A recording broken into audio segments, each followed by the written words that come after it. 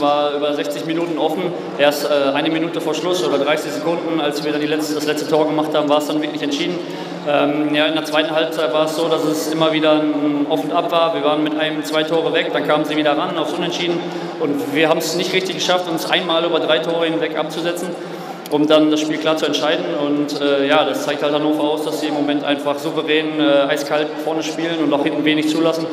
Ähm, und deshalb hat es halt am Ende dann, äh, oder war es am Ende dann so knapp. Und äh, ich bin einfach froh, dass das Ding dann auch über 60 Minuten gewinnen konnte. Ja, ich denke, das hat man vom Anfang an äh, gemerkt. Äh, es war ein Spiel auf Augenhöhe. Es ging immer hin und her. Mal hat Hannover mit ein, zwei Toren geführt. Mal haben wir mit ein, zwei Toren geführt. Ähm, wir konnten uns nie entscheidend absetzen auf 3, 4. Und von daher war es über 60 Minuten ein ganz enges Spiel. Ich habe, ich glaube, zwei oder drei ganz freie verworfen, die muss ich eigentlich reinmachen.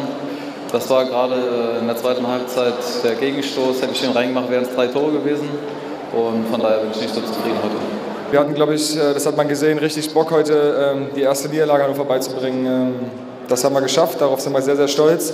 Ähm, und heute können wir uns freuen und dann geht es am Donnerstag schon wieder weiter. Es kommen Hammer-Aufgaben noch. Wir haben noch ganz schwere Gegner vor der Brust. Jetzt am Donnerstag in Wetzlar, auch was für mich ganz Besonderes.